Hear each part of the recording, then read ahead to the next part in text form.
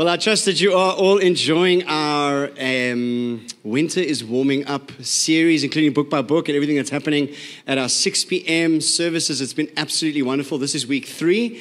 And uh, before I jump into the word this morning, uh, just to let everybody know that Pastor Sean and Tan uh, this weekend are away in Mossel Bay. They are overseeing the transition of a ministry couple at New Life Church in Mossel Bay, which is a wonderful thing. So that's where they are. And then also, uh, connected to our Winter is Warming Up series, this evening at our 6 p.m. service, we will be having, having a encounter night where there will essentially just be a, a time of uh, extended worship, uh, an opportunity, just a little bit more breathing room in the service for worship, for prayer, and for ministry time. And so it's going to be absolutely phenomenal. That's taking place at our 6 p.m. service at our Pioneers campus tonight. And so it would be wonderful um, if you have the scope to, to be able to join in on that. It's going to be a great time. Does that sound good?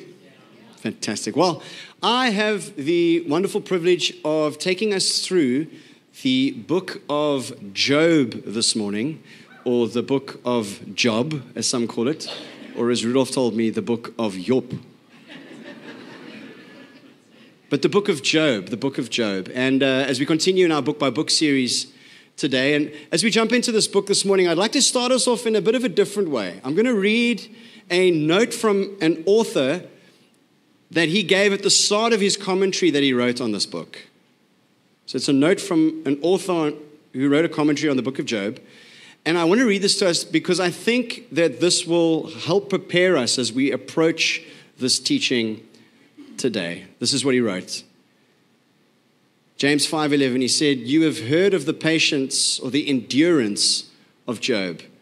Yes, many people have heard about Job and his trials, but not many people understand what those trials were all about and what God was trying to accomplish, nor do they realize that Job suffered as he did so that God's people today might learn from his experiences how to be patient in suffering and endure to the end.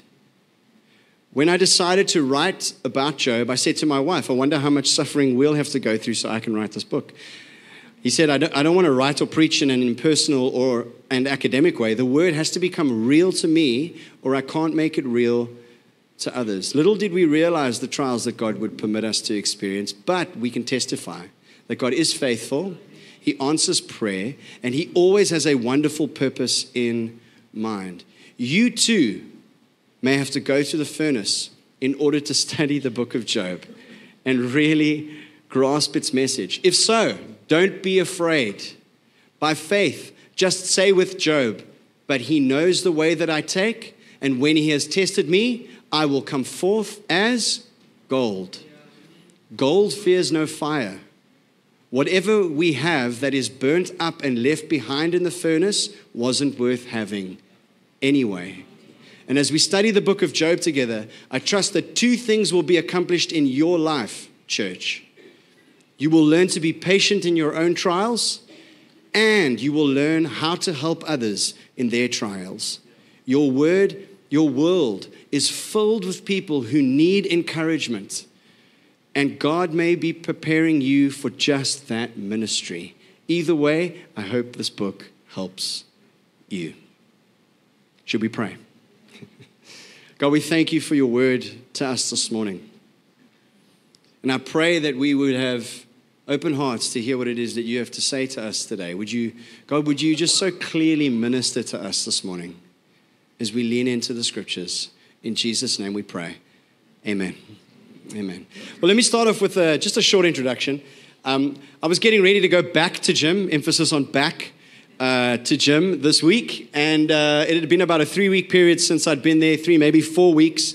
Uh, there'd been a bit of, we, we all had the flu in the family, as I guess everybody did, and, um, and also did a bit of traveling for work, so wasn't able to have a, a good rhythm. And so it was about a, a, long period of time, and so we got ready this week to go back. Um, they say the first rule of CrossFit is to talk about CrossFit, so I'm getting that right this morning. But as much as I love it, what you essentially are doing is you are voluntarily choosing to expose yourself to physical suffering, right? That's essentially what you're doing. You are voluntarily exposing yourself. I mean, if you're doing training of any kind, you are voluntarily exposing yourself to physical suffering on a regular basis. And I think we can, we can, I think we tend to do this in life sometimes too. Isn't that true? We, we have to admit that sometimes we can make choices in our lives that can cause us great pain. Um, we can voluntarily expose ourselves to suffering. But sometimes suffering or pain or tragedy come our way unexpectedly and with no clear explanation. It is at times like these that we begin to ask big questions. And what I love about the God that we serve is that He is ready to meet us in the midst of this reality. He is not afraid of our big, difficult questions. And actually, this is a big part of the book, of what the book of Job deals with. In fact, it is the main theme in the book, which is suffering. And so let's just get a quick overview of the book of Job. Quick overview. What type of book is, is it in, in the, the, all the books of the Bible? It is called wisdom literature. There are three wisdom literature books in the Bible. The other two are Proverbs and Ecclesiastes. The title of the book is Job, as we know. And Job essentially is a Hebrew name that means this it means persecuted, he that weeps or cries out of a hollow place, sorrowful, but one that turns to God. And then the theme, as I mentioned, is suffering. The purpose of the book is this number one, it deals with the problem of how suffering can be reconciled with the justice of God.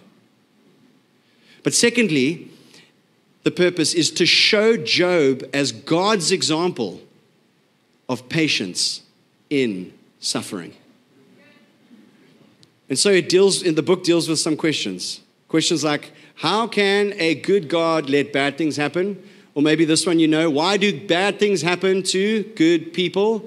Or this is a little closer to home, God, how can you let this happen to me? How can you let this happen to me. And so we're going to take a moment to look at the structure of the book. And as we do that, I'm just going to I'm also going to unpack a little bit of the story of Job. I know that in the room this morning there are some people who who maybe know the book of Job well. Maybe you've done a study through it. Maybe you've just read through it. It's a fairly long book. It's 42 chapters, and it's a it's a bit of a heavy read at times. And um, you know the book well, but there are also many of us in the room who might not know the book well. And so this is your opportunity as I go through the structure of the book and unpack a little bit of the story, just to take hold like on the broad strokes picture of, of this account of Job. Are you ready for this? So, structure of the book. The first two chapters are, are sort of a prologue, it's like an introduction. And I'm going to spend a little bit of time on these two chapters as they really do set up like a bit of a framework for the rest of the book. They set us up. Chapter one begins like this it's an introduction to who Job was. And we see in this introduction a few key things about the type of man that he was. Job 1, it says this that he was a man of complete integrity who feared God and turned away from evil. It even says this that Job was the greatest man among all the people of the East. It's quite a statement. The greatest man among all the people. In short, Job was a very good guy. But he wasn't just a good guy, he was a godly guy. He was a godly person. He lived his life in a way that honored God. And then all of a sudden, we're, we're, we're introduced to Job, and then all, it's, it's like all of a sudden you're, we're like transported. and we are taken into the scene which essentially it seems to be something some kind of a heavenly command center where the angels are reporting to god that's it just straight away now we're okay we're there now and um, in this section, we witness a conversation that takes place between God and Satan. And as a part of this conversation, God says this about Job. Job 1 8 Have you considered to Satan, have you considered my servant Job? There is no one on earth. You see, it's not just it's not just the previous verses. God himself said this of Job. There is no one on earth like him he is blameless and upright, a man who fears God and shuns evil. Satan hears this and he responds with a bit of a proposal. He proposes that Job might not actually love God. And that the only reason that Job is doing good is because God rewards him. The only reason he's living in obedience is because he gets the benefit thereof. That's what Satan proposes. He accuses Job of living that way. And so, what he does, what Satan does, is he asks permission to test Job, to test him, to see if this testing will alter his trust in God. And, God says, okay. Now, you'll need to go and read the detail of what happens next yourself. But in summary, Satan imposes all kinds of suffering upon Job. To name a few things, he loses his house and all his thousands of livestock are destroyed. So his wealth is taken from him. Then, to the point where he is unrecognizable, sores break, up, break out all over his body. So his health is put at risk. And then it also says that his children die in a tragic accident. And so a part of his family is taken from him. And this all happens in chapters 1 and 2, everybody. Essentially, what we see here is that Job is a man who fears God but finds himself experiencing unfathomable suffering. I mean, can you imagine what it must have been like to be in that position? The emotions, the thoughts, the turmoil, what it might have been like. I honestly cannot, I honestly cannot imagine what I would do if faced with such dire circumstances. So that's chapters 1 and 2. Then we get to chapters 3 to 31. This is the bulk of the book okay? 3 to 31 are essentially a series of dialogues, and these dialogues take place between Job and three of his friends Eliphaz, Bildad, and Zophar, and no further. And each, each of these friends turns to offer their explanations for Job's suffering. But it's important to note that their advice was not correct. Their advice was not correct. His friends basically try to offer neat and tidy, well packaged explanations for the very complex issue of suffering. And they suggest this that Job's suffering is as a result of something. It must be because of something that you have done, Job. It must be as a result of something that you have done. But even at the very end of the book, God says this about what they said. He said, I'm angry with you and your two friends, the three of them, for you have not spoken the truth about me as my servant Job has.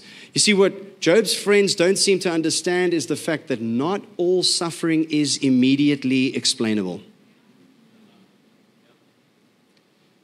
Each time the friends speak, Job responds to them and maintains that he is innocent. But what we do see in the chapters as they go on is that Job does become increasingly disillusioned. He does. He, he seems to yo yo between his desire to honor God, deep depression, and then even hurling accusations at God. That's kind of the space he found himself in. And even in his lowest moments, Job asks big questions about the justice of God. He essentially feels that the Lord has turned against him. So that's 3 to 31. Then we get chapters 32 to 37, which is the fourth friend that comes along. His name's Elihu. And interestingly, he is the youngest of the lot. And yet, the only one who, who seems to speak some sense. Essentially, the truth that Elihu points out to Job is that Job should not be questioning the justice of God.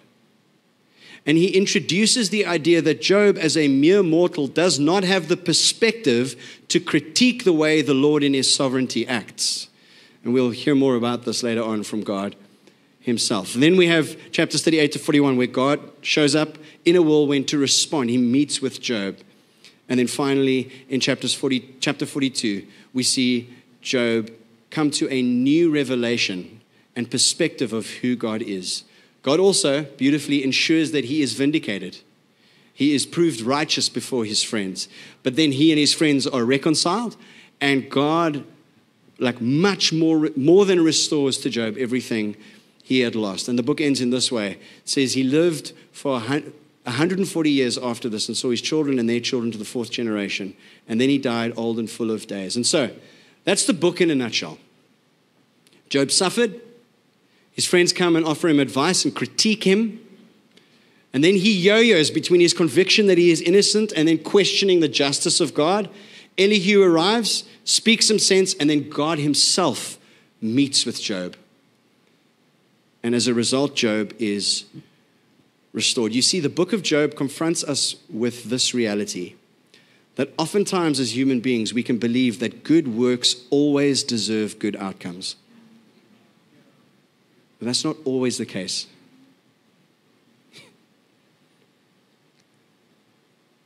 The truth is this that we live in a fallen world where, where bad things can happen to good people. And here's the key it's how we respond to this reality that truly matters. And it's in the book of Job that we're given a kind of framework for response. A framework for response. How to respond to the different kinds of suffering that we may face in our lives. And so the question for us today is this How do we continue to trust God, not just when this happens to others, but when it happens to us? That's the question we're going to be answering today. How do we continue to trust God, not just when this happens to others, but when it happens to us? How do we trust God amidst our suffering? I've got three points for us on this today. Are you ready for these, church? Okay, here we go. Number one, we need to accept that bad things can happen to good people. As I said, as a result of the fall, evil has entered the world, and God permits it to act within the boundaries He sovereignly sets. So, this is one of the things that we wrestle with, isn't it? We wrestle with this thing. If we're not wrestling with it, then we just choose to outright ignore it. We try to like hide it away. I don't want to go there. But we have to acknowledge it to be true. We have to. Because if we believe that God is sovereign, then we believe that He is sovereign over all things, but that at the same time, evil still exists in the world. You know, some people may even fall into the trap of believing that once we come to accept Christ as our Lord and Savior, that life will only get easier and better. But how many of us in the room today know that that's not quite the case? Firstly, upon reflection, if we look at our own lives, we know this to be true.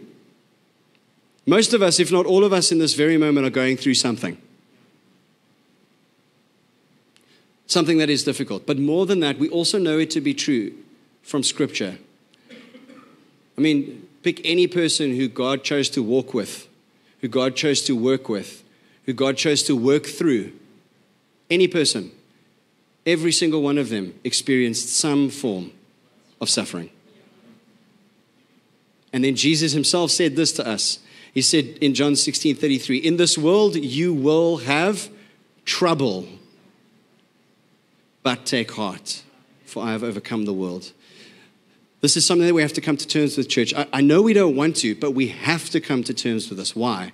Because if we do not accept this to be true, then it will ultimately become a hindrance to us trusting in the Lord. We have to come to terms with the fact that bad things can actually happen to some good people.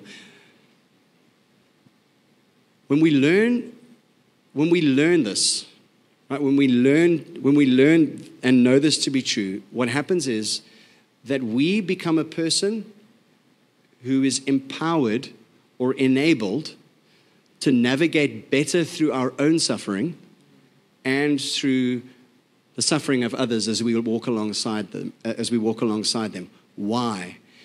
Because because if we understand that these things that suffering can happen to anybody then when we go into a difficult situation, we're not just going into that situation trying to find reasons and solutions. Reasons and solutions. Why is this happening and how do we get out of here? Right? Have you, ever, have you ever found that? I guess it's human nature. When, when there's a problem or an issue, we always look for a reason why it's happening, and we're always looking for a solution to get out of here. Ever found that?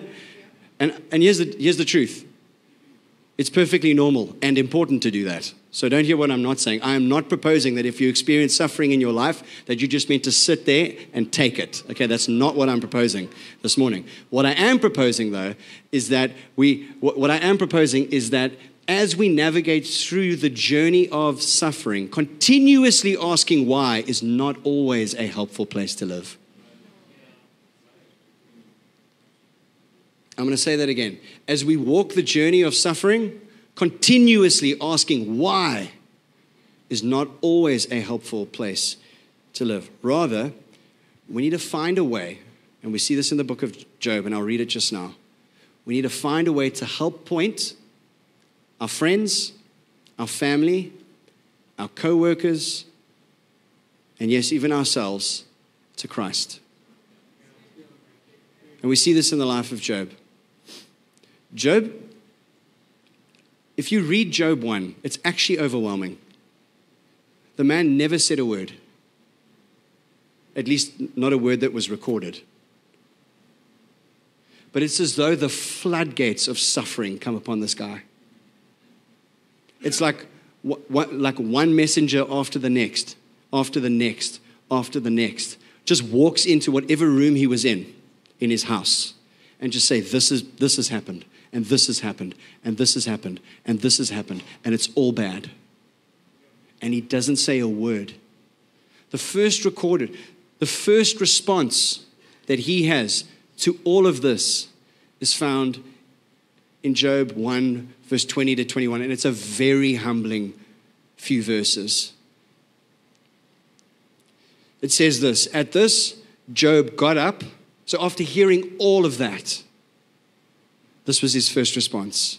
He got up, he tore his robe, shaved his head, and then he fell to the ground in worship.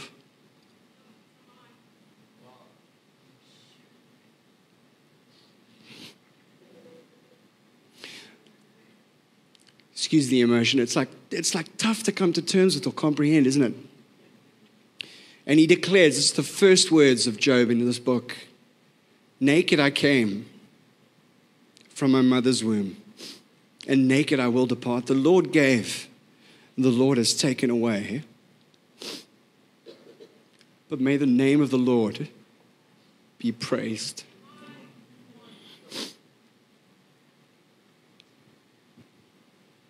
Oh, are you ready for point two?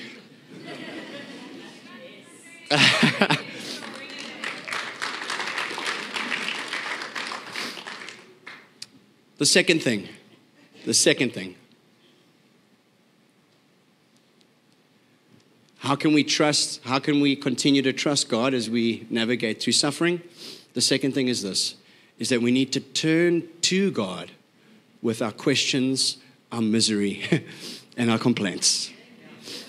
That's the next step in the journey. It's to find a way to fix our attention and our thoughts on God. This is one of the things that we clearly see Job do. Our initial response to suffering can often be to turn to everything else except God, or to turn, or to intentionally turn away from Him. But one of the remarkable things about Job's response is that he chooses to turn to God, and it's something that we need to take note of. What's also important to take note of is this is that is, is the humanity of how this reality plays out in Job's life. And this is so helpful. Job initially responds correctly. He says this He says, Though he slay me, yet I will hope in him. That's, that's, so he declares. So he responds correctly at first, but it goes a little downhill from there. And I'm so grateful for that. Aren't you? it wasn't like he got it right throughout the whole book it went a little downhill from there. We see the humanity in all of this. Many of us tend to miss it because we might have only read the first two chapters of Job. Um, but in Job chapter 30, we see Job say this to God. He said, He throws me in the mud and I'm reduced to dust and ashes. I cry out to you, but you do not answer.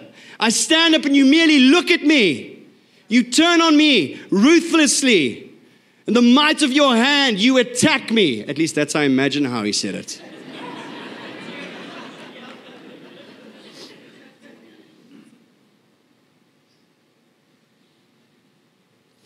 When we face pain or loss or crisis, a lot of us confront with faith initially. But when the pain or the suffering or the delay continue, oftentimes it can wear away our spiritual resilience. We start by declaring that we trust in God, good thing to do, but oftentimes we end up developing other avenues to cope.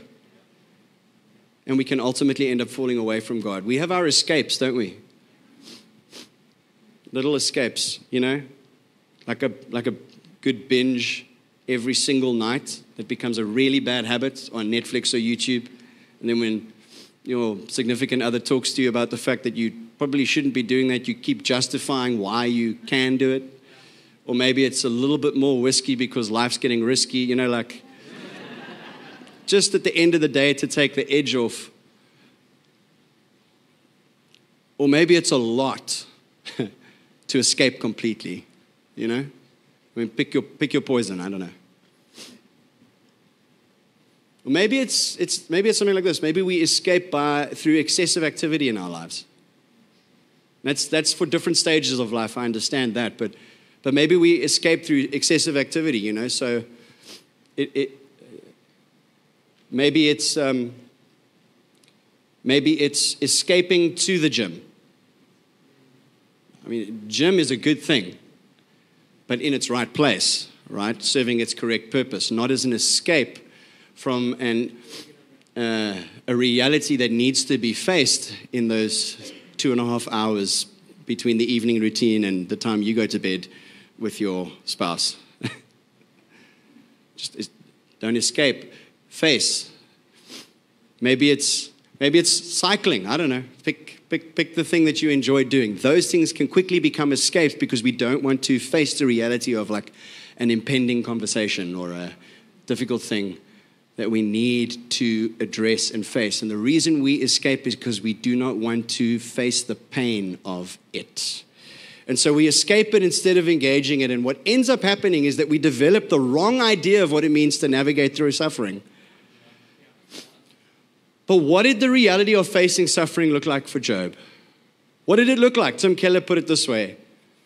He said, Job doesn't sound all that kind and loving and respectful to God, right? But you're forgetting something. Job isn't just talking here, he's praying. He's talking to God. He's complaining about God, but he's talking to God about it. He's questioning God, but he's talking to God about it. And what that's actually how you ought to handle your suffering, everybody. On the, on the one hand, you do not walk away as if you know better than God on how things ought to be in the world. But on the other hand, you have every right to question.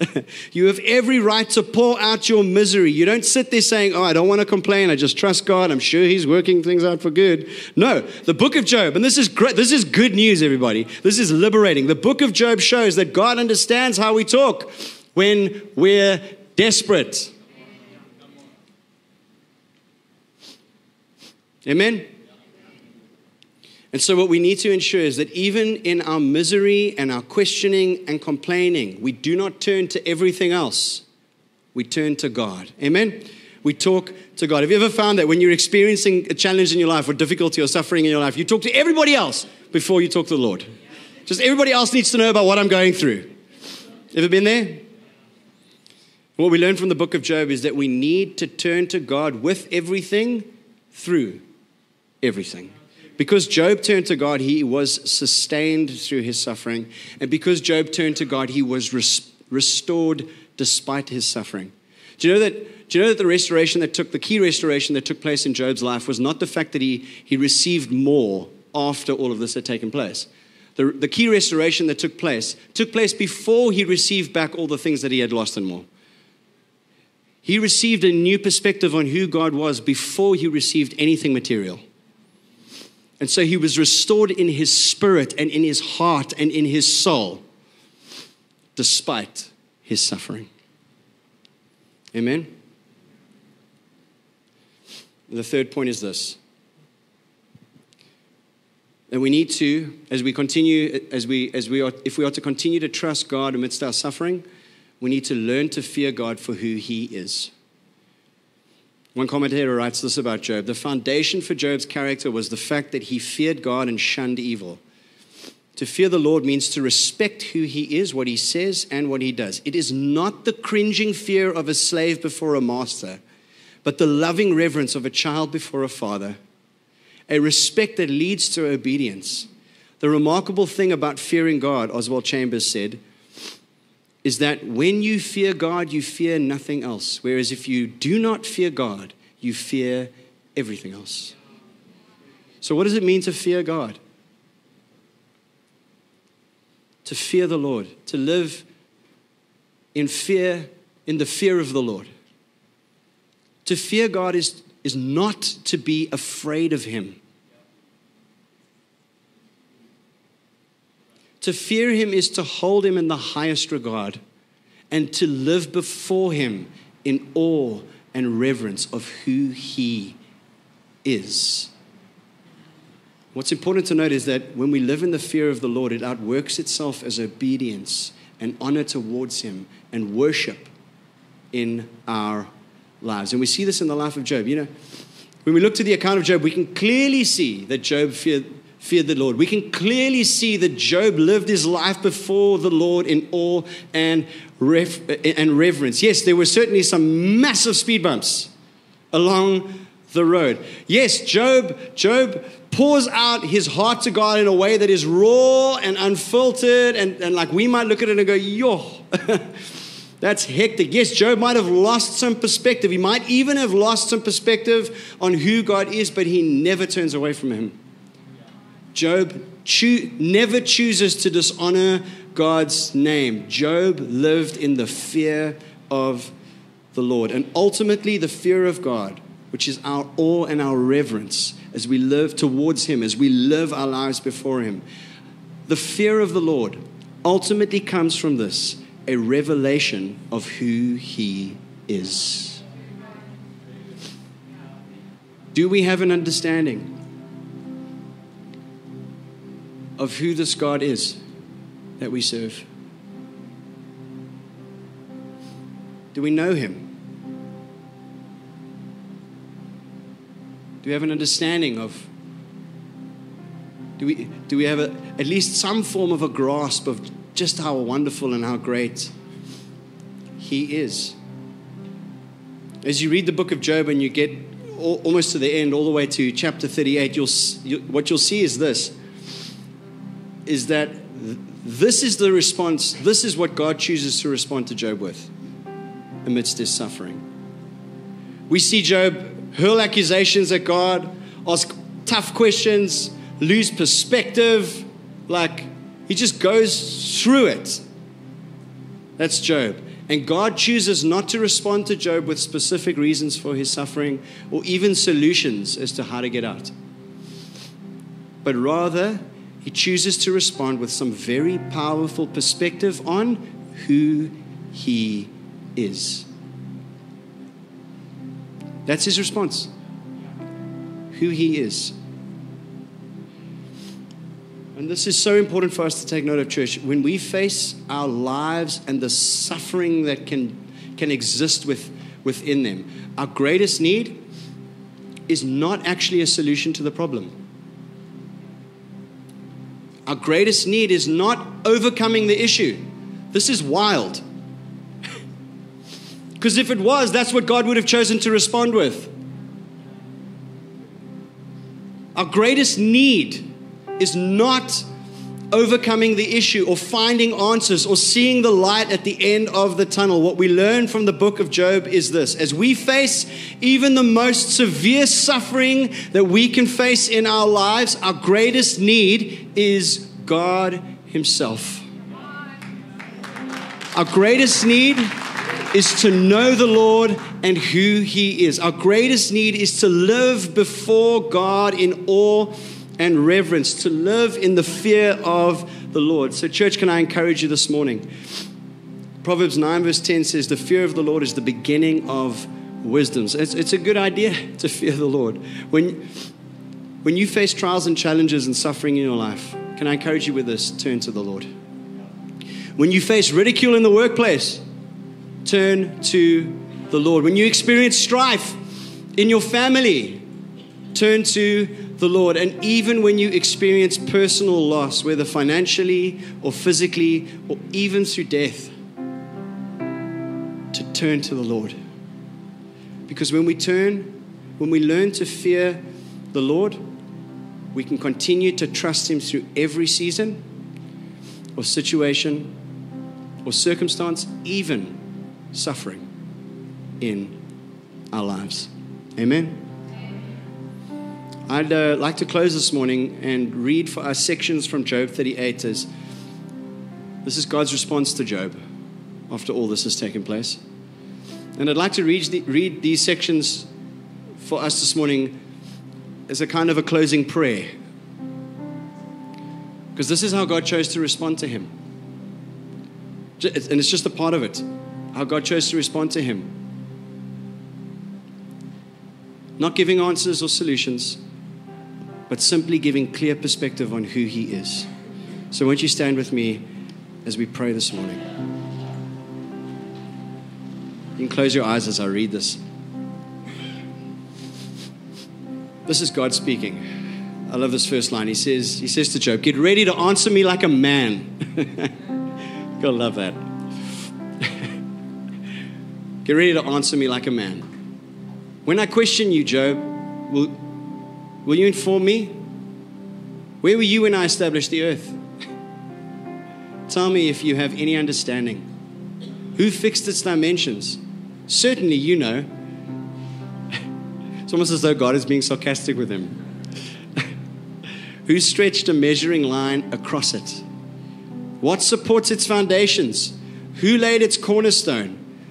While the morning song, stars sang together and all the sons of God shouted for joy. Have you traveled to the sources of the sea or walked in the depths of the oceans? Have the gates of death been revealed to you? Have you seen the gates of deep darkness? Have you comprehended the extent of the earth? Tell me if you know all of this. And so, Lord, I pray this morning that we would be people that we would be your people. People who turn to you and trust you, people who fear you, which means that we are people who live before you in awe and reverence in every single season of our lives. Lord, may we be those people. Not to get it perfectly right, not to uh, have well packaged, perfect little compartmentalized boxes about why everything happens but may we simply be people who continue to live in the fear of the Lord.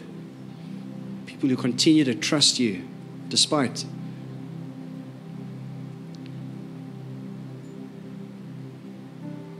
I'd like to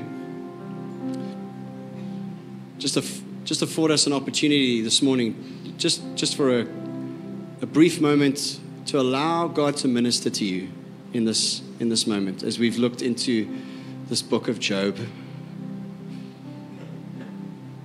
Just to take a moment and bring to mind the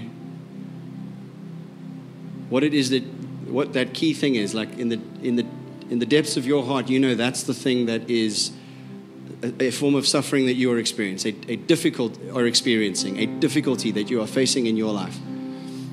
It could be anything.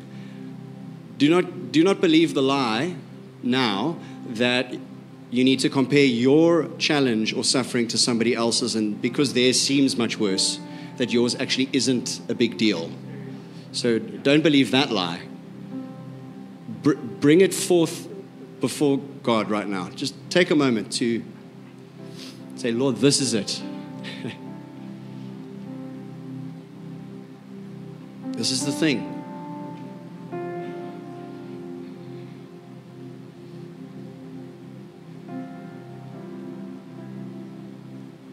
Maybe one of the things that you're struggling with is just to overcome like, like a habitual sin that's in your life. That can also bring turmoil. Or, or thoughts, thoughts that you're perplexed by, like constantly, just thoughts that are, are plaguing you. Maybe it's a strange relationship. Whatever it is, just bring it before the Lord and say, Lord, this is it. As we as we sang earlier, this might need to just be uh, something that we lay down again at the feet of Jesus. And as we do that, let's just simply do that, not looking for reasons as to why or solutions of how we can emerge from it, but just to simply lay it down before Him and then take a moment to comprehend again, to in some way come to terms with, to in some way grasp the magnitude of who your God is.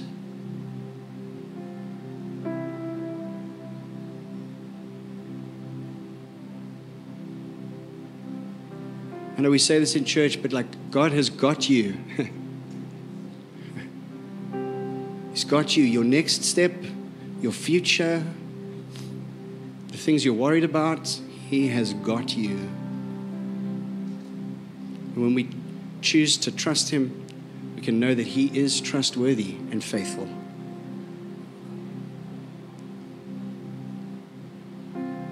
So, God, I pray that you would strengthen us this morning. In Jesus' mighty name we pray. And the church said, Amen. Come on, can we give God some praise this morning?